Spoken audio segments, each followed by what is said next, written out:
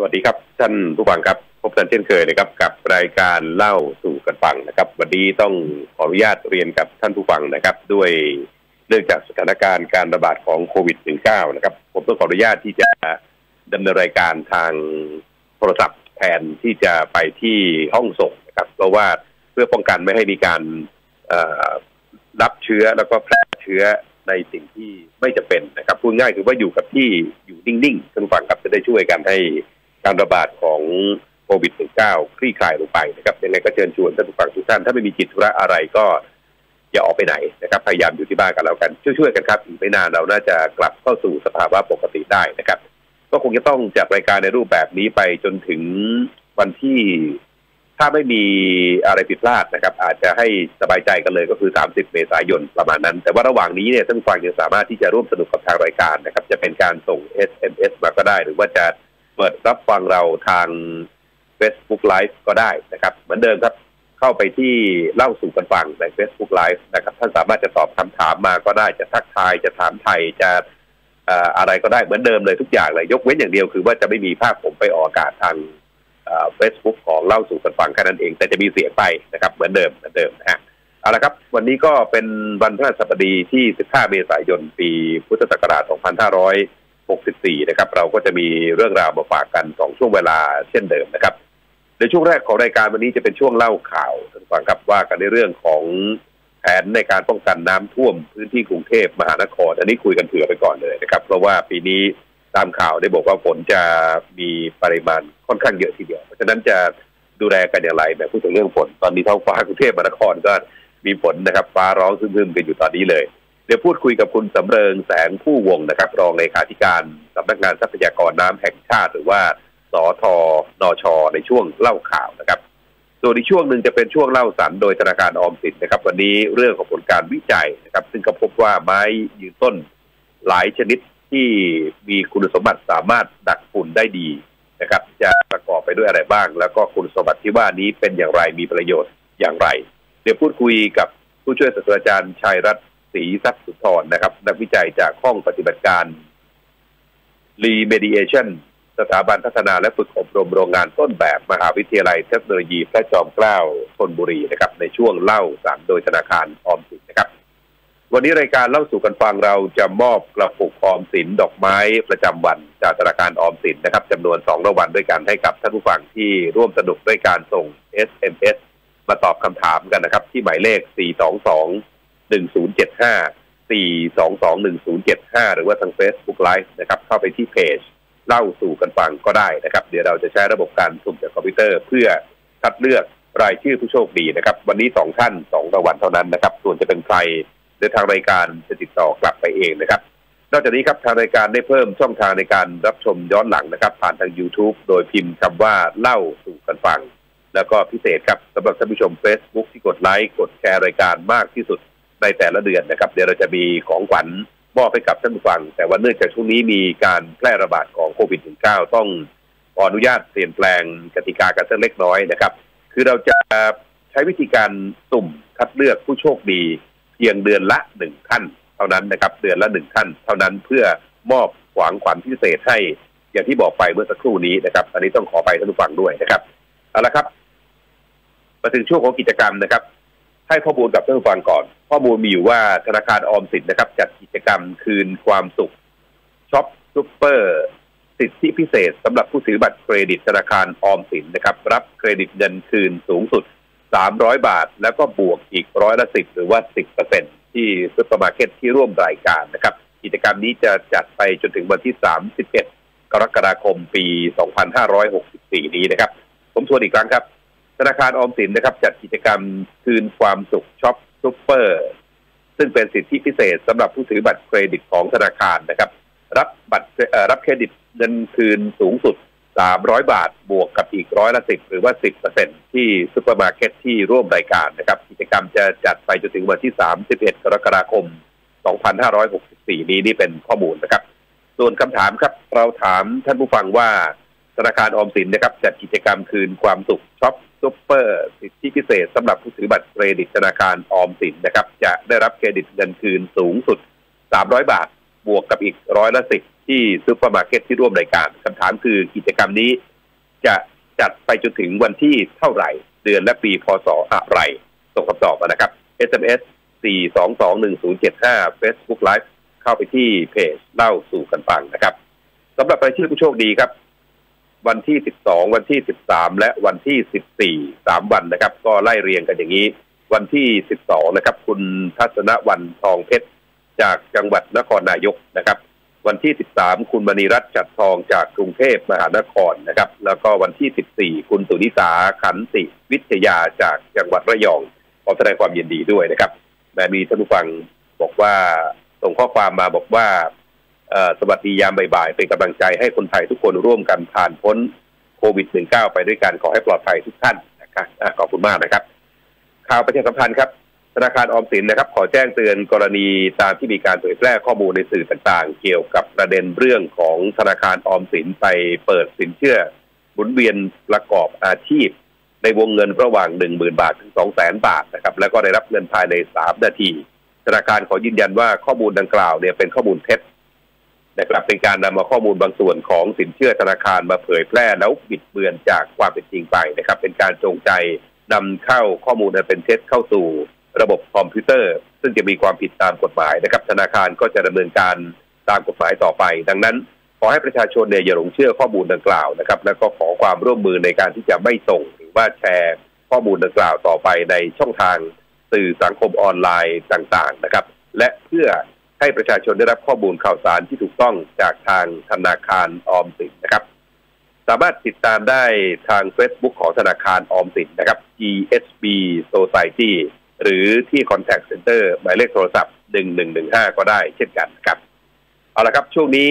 เรื่องของนี่แหละครับ เสียงฝนกำลังมาเลยฝนกำลังตกอยู่ในพื้นที่กรุงเทพมหานครนะครับเล่าข่าวเดี๋ยวเราไปพูดคุยกันเรื่องการแผนการในการป้องกันน้ำท่วมพื้นที่กรุงเทพมหานครนะครับ กับคุณสำเริง แสงผู้วงรองเลขาธิการสำนักงานทรัพยากรน้ำแห่งชาติหรือว่าสทนชนะครับ ตอนนี้อยู่ในสายแล้ว สวัสดีครับคุณสำเริงครับ ครับคุณพิรพัฒน์ครับครับครับได้ยินเสียงผมชัดเจนไหมครับสำเริงฮะครับ ครับชัดเจนดีครับผมได้ยินนะครับต้องขออนุญาตนิดนึงนะครับพอดีช่วงนี้โควิดระบาดเราก็ไม่อยากจะไปปรากฏตัวเท่าไหร่คุณสำเริงคุยสายๆก่อนแล้วกันช่วงนี้นะฮะได้ยินดีครับครับเป็นยังไงบ้างครับ ตอนนี้เราเตรียมแผนยังไงบ้างฮะเรื่องของการวางแผนรับมือกับน้ำท่วมกทมเนี่ยคุณสำเริงครับ ครับ คือต้องต้องต้องยอมรับว่าปีเนี้ยได้มีการคาดการณ์จากกรมอุตุนิยมวิทยาว่าปีนี้จะฝนมาเร็วนะฝนมาเร็วเดือนเมษาจะสังเกตว่าช่วงนี้ฝนมีละ สังเกตไหมครับตอนนี้เลยตอนนี้เลยการใช่ซ้ำนะมีฝนแล้วเมษาพฤษภาฤดูฝนเนี่ย ปีนี้คาดว่าจะเร็วกว่าปีที่แล้ว เร็วกว่าสองปีที่แล้ว ก็อยู่ในช่วงต้นต้นพฤษภาน่าจะประกาศฤดูฝนเป็นทางการได้ นะครับ และอีกส่วนหนึ่งที่เป็นเรื่องที่เราจะเป็นต้องประเมินก่อนและเตรียมการก็คือว่าอ่าช่วงต้นต้นพฤษภามิถุนาจนถึงต้นกรกฎาเนี่ย ช่วงแรกเนี่ย ฝนจะมีมากกว่าเกณฑ์ค่าปกติของฝนหรือว่าค่าเฉลี่ยฝนมากกว่าปกติ นั่นแปลว่ามากกว่าปีที่แล้วมากกว่าปีก่อนแน่นอน เพราะสองปีที่ผ่านมาเนี่ยน้อยกว่าค่าเฉลี่ยนะครับ คือประเมินว่าฝนแรกนี่มาเยอะ แล้วมาเยอะครับก็กังวลอะไร พอมาเยอะปุ๊บ เราผ่านหน้าแล้งมาอ่าชุมชนโดยเฉพาะกรุงเทพมหานครก็จะมีบ้านเรือนบ้านช่องเยอะ สิ่งกีดขวางทางน้ำก็จะมีเยอะถุงพลาสติกบ้างขยะบ้างอาจจะติดตามตามตามอะไรตามท่อระบายน้ำตามรางระบายน้ำอย่างนี้เป็นต้นนะครับไม่ได้มีส่วนหนึ่งถ้าฝนตกหนักๆเทในกรุงเทพเนี่ยก็จะเป็นปัญหา เพราะว่าจะสังเกตว่าฝนกรุงเทพเนี่ยที่เรากังวลเนี่ยไม่ใช่เรื่องน้ำหลากจากตอนบนนะครับ วันนี้ครับเป็นเรื่องที่ฝนตกในพื้นที่เอ่อเคยกรุงเทพเคยเอ่อประเมินไว้ว่าถ้าฝนตก หกสิบมิลในหนึ่งชั่วโมงเนี่ยรับได้ แต่ว่าครับวันนี้เขาพัฒนาดีขึ้นแล้วนะครับ เขาบอกว่าแปดสิบนี่รับได้ แต่ถ้าตกมากกว่าแปดสิบนี่เป็นเรื่องน่ากังวล ตกมากกว่าแปดสิบแล้ว แล้วเอ่อบังเอิญถ้าตกมากแล้วไม่ได้ตกไม่ตกเป็นบางจุด เกิดตกพรมไปทั้งทั้งกรุงเทพเนี่ยอาจจะเรื่องเดือดร้อนครับก็เลยก็เลยมีการคาดการณ์ร่วมกันนะครับ ที่ผ่านมาในวันที่5เมษาที่ผ่านมาเนี่ยอ่าท่านเลขาธิการสทนชหรือดรสมเกียรติจำวงเนี่ย ก็นัดหมายกันละว่าเอามีกรมชมทาน มีกทมนะครับ มีกรมอุทกศาสตร์อ่าของกองทัพเรือครับ ก็ไปร่วมกันประเมินดูว่าจะมีจุดตรงไหนบ้าง จะประเมินส่วนไหนทางกทมเขาก็เตรียมแผนของเขาเพราะอย่างดีครับในพื้นที่กรุงเทพมหานครเองเนี่ย มีจุดเสี่ยงเดิมๆอยู่ประมันสักสิบสามสิบสี่จุดนะครับได้มีการพัฒนาระบบท่ออุโมงค์ดีขึ้นในบางส่วนแล้วลอกท่อระบายน้ำบ้างอะไรบ้าง วันนี้ก็ยังเหลือจุดเสี่ยงอยู่ประมาณสักสองจุดนะอย่างอย่างเช่นบริเวณพญาไทหลักสีดูสิทธิ์บางชื่อเขตเดิมๆที่เราเคยเจอครับในประเมินทักษณะนี้นะครับก็ก็เตรียมแผนว่าเอาเอาขอบหนึ่งเขตก่อนแบ่งเป็นสองสองสามโซนโซนฝั่งโซนตกเจ้าพระยา ก็คืออย่างฝั่งแถวภาษีเจริญแถวด้านนู้นนะครับเป็นโซนหนึ่งโซนกลางระหว่างแม่น้ำเจ้าพระยาไปถึงคันโครงการพระรามดีแต่แถวฝั่งตะวันออกขึ้นคลองสามวาอย่างนี้ต้นครับโซนกลางที่เป็นเกินโซนย่านธุรกิจ ที่เป็นธุรกิจที่มีผลประโยชน์สูงนะครับก็เป็นถือว่าเมืองข้างในก็เข้มเข้มข้นนิดด้านตะวันออกที่ติดกับชายชายนอกเขตแถวมีนรีหนองจอก ก็มีส่วนนั่นอาจจะเป็นที่ที่นอกเขตของของชนเมือง อันนี้เขตขีดขอบข้างใน มีการพัฒนาในส่วนที่แหล่งน้ำเป็นแก้มลิงที่จะรองรับนะครับ สามารถจะรองรับได้ประมาณสักสิบสามล้านปีนี้ในแก้มลิงในบึงต่างๆนะครับที่พัฒนาไป แล้วขอบขอบข้างนอก ก็ประสานจากกรมชลประสานกับกรมชลประทานครับ จะมีรอยต่อลำน้ำที่ไหลลงมาเข้าเขต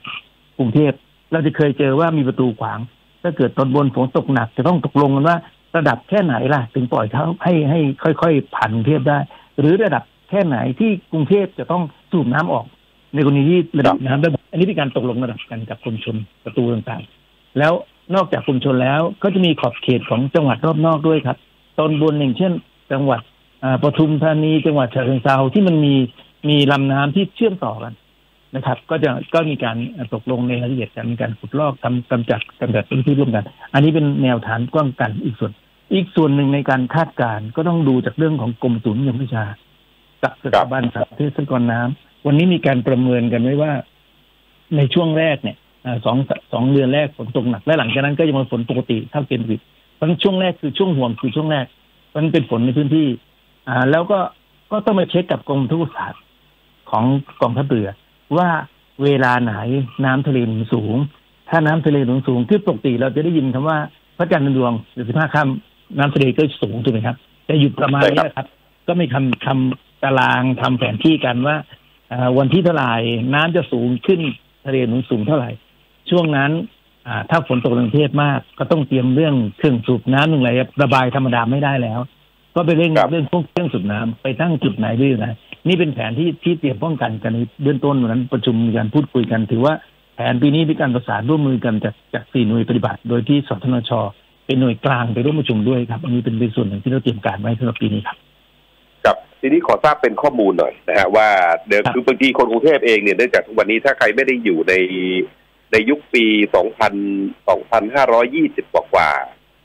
ตอนนั้นเนี่ยที่มีน้ำท่วมท่วมหน้ารามคำแหงเลยจำได้ใช่ไหมครับตอนนั้นที่หนักๆเลยเนี่ยแล้วปรากฏว่าถ้าคนที่คุ้นเคยจะเห็นว่าถ้าเกิดไฟไปที่มหาลัยรามคำแหงเนี่ยเขาจะมีระดับน้ำบอกอยู่ว่าท่วมสูงสุดตอนไหนอะไรยังไงเนี่ยไอ้ไอ้จุดเสี่ยงที่เราคุยกันเมื่อสักครู่นี้สิบสี่จุดเนี่ยปัจจุบันนี้มันมีพัฒนาการไปยังไงบ้างและมีจุดไหนบ้างครับทุกวันนี้ก็จริงๆแล้วในแต่ละส่วนเนี่ย จะได้ยินคำว่าอุโมงค์ผ่านน้ำใต้ใต้ใต้ใต้กรุงเทพมหานครนะครับ วันนี้ทางกรมมีการทำอุโมงค์พันน้ำบางส่วนแล้ว แต่ยังต้องยอมรับว่ายังไม่เชื่อมโยงทั้งพื้นที่กรุงเทพมหานครทั้งหมด แต่จุดที่เสี่ยงเดิมเนี่ยกรุงเทพชั้นในที่บอกตอนกลางมีอุโมงค์เชื่อมไปต่อเกือบหมดแล้วนะครับพออุโมงค์ผ่านไปปุ๊บเนี่ยตรงปลายอุโมงค์ที่ลงแม่น้ำเจ้าพระยาก็มีถังสูบน้ำครับ เพราะฉะนั้นถ้าสูบไปแล้วถ้าน้ำระบายลงอุโมงค์ได้ทันเนี่ยก็จะหมดปัญหา แต่ที่อย่างน่าห่วงก็คือว่าในอุโมงค์อาจจะสูบน้ำออกได้ แต่น้ำข้างบนที่ไหลลงอุโมงค์ไหลเรื่อยๆอ่าใช่ มันจะมีตะแกรงที่อาจจะมีขยะติดอยู่อะไรนี่ครับ อันนี้เป็นส่วนหนึ่งครับต้องต้องวนกลับมาถึงเรื่องจากการแก้ปัญหาของของกรุงเทพเองเนี่ยประชาชนอย่างเราเราเนี่ยก็คงต้องช่วยกันด้วยครับเพราะในส่วนไหนที่เห็นว่ามีสิ่งกีดขวางมีซ่อมถนนบ้างมีขยะมูลฝอยก็ต้องช่วยเก็บช่วยเสียวันนี้ทางทางกรุงเทพมหานครก็พยายามจะเคลียร์ในส่วนนั้นนะครับ ไปไปให้มากที่สุด แล้วก็ต้อง ต้องเข้าใจอย่างหนึ่งว่าพื้นที่กรุงเทพมหานครมหานครเป็นพื้นที่ที่สูงกว่าระดับน้ำทะเลปานกลางประมาณเฉลี่ยเพิ่มมาหนึ่งเมตรเอง แล้ววันไหนที่น้ำทะเลขึ้นสูงเนี่ยก็เท่ากับแทบจะเท่าระดับพื้นกรุงเทพเลยฝนตกลงมาก็แปลว่าน้ำมันลงทะเลไม่ได้ ถึงต้องจะเป็นพึ่งพาสถานีสุดน้ำเคยเกิดปัญหาอยู่บ้างในบางครั้งที่ฝนตกหนักๆแล้วเครื่องสูบน้ำมีปัญหาไฟดับอะไรนี้เป็นต้นนะครับ วันนี้ทางกรมก็ต้องมีการวางแผนแผนที่เป็นเรื่องของเอาเอา เครื่องเครื่องสำรองไฟที่ไปเตรียมกับจุดที่เสี่ยงๆไว้ อันนี้เป็นจุดจุดหนึ่งนะครับ อันนี้ก็คงแล้วก็ไม่อย่างลำลำน้ำไอ้ลำห้วยลำคลองในกรุงเทพมหานครเองอย่างเช่นอาของราดพร้าวของเปรมประชากรนะครับคลองแสนแสบนะครับ วันนี้สายหลักนอกจากเป็นเส้นทางเดินเรืออย่างคลองแสนแสบแล้วเนี่ย ก็วันนี้ต้องครับทำหน้าที่เป็นคลองระบายน้ำไปด้วยนะครับ ก็ไปเร่งในเรื่องของการอ่ากำจัดสิ่งกีดขวางทางน้ำขุดลอกและกำจัดวัชพืช เพื่อเพื่อช่วยในการเวลาสูบน้ำไปแล้วน้ำในลำรางเหล่านี้จะได้ไหลลงอุโมงค์ได้ทันนะครับภายใต้อุโมงค์ก็จะมีการเชื่อมต่อระหว่างอ่าคลองต่างๆ ไปเพื่อระบายออกทะเลให้ได้ไอ้ยออกแม่น้ำครับเจ้าพระยาบอกเจ้าพระยาให้ได้จะไปนี่เป็นส่วนที่ที่เตรียมการกับพูดถึงการระบายน้ำผมกำลังหลับตานึกภาพอย่างนี้นะคุณสำเริงครับว่าครับมันเหมือนกับแอ่งกระทะใช่ไหมฮะกทมเอาเอาเฉพาะครับฝั่งฝั่งตะวันออกของแม่น้ำเจ้าพระยาก่อนฝั่งโซนบ้านทีหลัง มันจะเหมือนกับเป็นแอ่งกระทะครับแล้วก็จะมีเส้นมีสายยืดออกไปออกบางประกงบ้างออกเจ้าพระยาบ้างออกอ่าวไทยบ้างครับออกสำโรงบ้างอะไรบ้างก็ว่าไป ทีนี้ครับวิธีการของเราเนี่ย ถ้าเกิดว่าอย่างฝนตกตอนนี้ปุ๊บเนี่ย ถ้ามันตกมาแล้วมันระบายลงไปจากพื้นถนนลงไปท่อระบายน้ำเล็กลงท่อระบายน้ำใหญ่ลงบึงลงออกท่อระบายน้ำขนาดใหญ่ไปออกไปน้ำเจ้าพระยาได้ โดยที่ไม่มีอะไรขวางเลยเนี่ย อันนี้ไม่มีปัญหาใช่ไหมฮะใช่ใช่ใช่ครับ ตกเขาได้อยู่บอกว่าอันนี้ได้อยู่แปดสิบมิลนี่ระบายทันแน่นอนครับสบายทันแน่นอน แต่ทีนี้เพื่อความเข้าใจอะนะครับเดี๋ยวท่านผู้ฟังอาจจะสงสัยว่าเอ๊ะทำไมระบายน้ำช้าอย่างนู้นอย่างนี้ ถ้ามันตกมากอะไรจะเกิดขึ้นครับตกมากเกินไป ถ้าตกมากเกินไปเนี่ย ก็จะท่วมอยู่ แต่ว่าก็จะไงอะจะใช้เวลาในการท่วมไม่นานเท่าเดิมอ๋อถ้าตกเกิน แปดมิลถูกไหมฮะน้ำก็จะเอ่อข้างบนครับแต่มันจะไหลไปเรื่อยๆระบายไปเรื่อยแล้วค่อยๆยุบลงจุ่มแทนที่จะท่วมสองสามชั่วโมงแบบเดิมเนี่ยอาจจะเหลือสักครึ่งชั่วโมงอย่างนี้เป็นต้นเนี่ยอันนี้เป็นส่วนหนึ่งที่ที่ที่เตรียมได้เร่งขึ้นครับผมกับเพราะฉะนั้นถ้าประชาชนจะช่วยได้เนี่ยคืออย่าทิ้งขยะลงบนที่สาธารณะถูกไหมฮะอันนี้ส่วนหนึ่งเลยฮะ แล้วก็อย่างทราบว่าตรงนี้มีปัญหาเรื่องไฟดับนี่อะไรก็อาจจะรีบแจ้งซะหรือหรือว่า อย่างนี้อีกส่วนหนึ่งสถานีเอ่อวัดน้ำฝนสถานีวัดเอ่อระดับน้ำต่างๆ ที่มีหลายหน่วยไปร่วมกันเนี่ยบางครั้งครับเราก็ไม่แน่ใจว่าสถานีเหล่านี้ถึงแม้มันจะเป็นเทคโนโลยีที่ใช้ระบบออนไลน์ก็จริงเนี่ยบางครั้งมันอาจจะมีปัญหาบ้างก็ได้ ซึ่งครับแล้วที่สำคัญก็คือสถานีเนี่ย ไม่ได้อยู่ในครอบคลุมในจุดเล็ก ๆ ทั้งหมด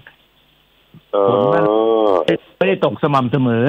ไปตกในจุดที่ไม่มีเข้าใจสถานีวัดน้ำเราก็ไม่ทราบว่าฝนตก สังเกตว่าหลังบ้านฝนตกแต่หน้าบ้านฝนไม่ตกก็มีถูกไหมอันนี้อาจจะมีการใช้สื่อสารโซเชียลช่วยแจ้งเตือนกันได้ตรงนี้บริเวณนี้มีการฝนตกหนักหนักนะครับทางครับเจ้าหน้าที่เขาได้เตรียมการครับผมกับแต่แต่ฟังฟังดูแล้วนี่ปัญหาขยะน่าจะเป็นปัญหาอุปสรรคกีดขวางสำคัญสำหรับชาวกทมเลยนะฮะคุณต้นเลยฮะคือว่าวันนี้มันเป็นเป็นปัญหาใหญ่อย่างหนึ่ง เพราะว่ากรุงเทพเนี่ยกรุงเทพมหานครเนี่ย เราไม่สามารถจะทำกำแพงล้อมแล้วก็สูบได้เต็มที่ได้หรอก เพราะว่าครับเอ่อเรามีแม่น้ำลำคลองที่มีรอยต่ออยู่เยอะนะครับใช่ใช่การระบายน้ำการแก้ปัญหาน้ำท่วมกรุงเทพส่วนใหญ่เป็นเรื่องของฝนที่ตกในพื้นที่ครับ จะทำยังไงครับให้สูบออกไปเร็ว เพราะเราเป็นแอ่งกระทะเอ่อเราจะต่างกับปีห้าสี่นานๆจะเกิดแบบปีห้าสี่ที่น้ำตอนบนมาน้ำบ่ามาด้วยแล้วฝนตกในพื้นที่ด้วย อันนี้เป็นสองส่วน แต่ที่หลังๆจากปีห้าสี่หรือก่อนปีห้าสี่เนี่ย ก็จะเป็นฝนตกบริเวณกรุงเทพหรือรอบๆนอกมาผสมกันเท่านั้น ซึ่งอะครับถ้ารอบนอกเนี่ยก็มีประตูปิดถูกไหมฮะ แล้วก็สูครับบออกตกในพื้นที่ก็เร่งสูบออกอ่าถ้ามีการเร่งพัสูฒบนาออกโครงข่ายที่เชื่อมโยงได้ครับกับแต่นี่ถ้าย้อนกลับไปสักระยะหนึ่งคุณสำเริงเอาสักเท่าไหร่ดียี่สิบสามสิบปีที่แล้วน่าจะได้ผมยังเด็กๆอยู่ตอนนั้นเนี่ยเอ่อครับถ้าใครที่ไม่ได้อยู่ในกรุงเทพอาจจะได้ทราบไม่ออกว่าเวลาฝนตกเนี่ยถ้าตกอย่างนี้ปุ๊บเนี่ยนะครับเอ่อน้ำมันจะไม่มีการระบายออกไป มันจะเกิดน้ำท่วมขึ้นมาโดยทันทีเลยถูกไหมฮะตอนในยุคนั้นยุคนั้นคุณเลยใช่ไหมฮะนะฮะคือยุคนั้นเนี่ยครับเครื่องสูบน้ำที่สูบเร่งระบายออกเนี่ยมีน้อยมาก ก็รอให้น้ำหลังไปครับบังเอิญฝนตกในช่วงที่น้ำทะเลหนุนสูง น้ำก็จะไหลไประดับน้ำทะเลมันสูง มันเฉพาะระดับผิวน้ำทะเลเนี่ย บางจุดนี่ก็สูงมากกว่าพื้นดินกรุงเทพมหานครแล้ว เพราะฉะนั้นใช่น้ำฝนตกก็ไปไม่ได้แน่นอน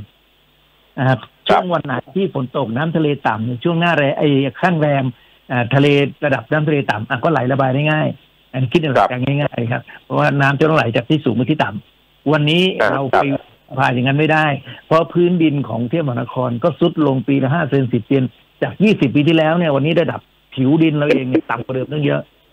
กับด้วยส่วนหนึ่งเราจำเป็นต้องระบายโดยใช้วิธีมีท่อมีอุโมงค์และเครื่องสูบน้ำที่ ระบายได้เร็วที่สุดที่จะทำได้ครับอ๋อครับแต่พูดถึงน้ำขึ้นน้ำลงเนี่ยผมนึกถึงคลอง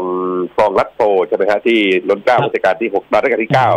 พระองค์ทรงมีพระกรมหากรุณาธิคุณกับพวกเราเอาไว้เนี่ย ในในยุคที่ผมเด็กๆเนี่ยคุณสำเริงผมอยู่แถวถนนรัชดาพิเศษกตรงอ่าเอ่อ